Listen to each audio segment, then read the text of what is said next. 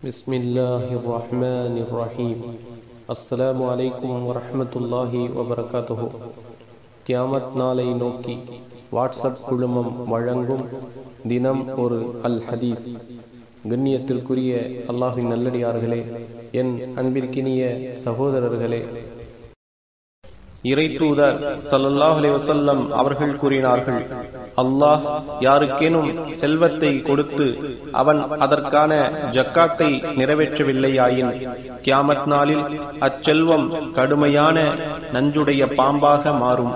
அது அவனுடைய கழுத்தில் சுற்றிக் கொண்டு தன்னுடைய இரண்டு விஷப்பற்களால் அவனுடைய தாடையை கொத்திக் கொண்டே நானே உன்னுடைய செல்வம் நானே உன்னுடைய புதையல் என்று கூறும்.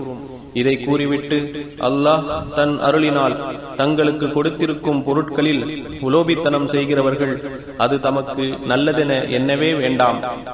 அவ்வாறன்று அது அவர்களுக்கு தீங்குதான்.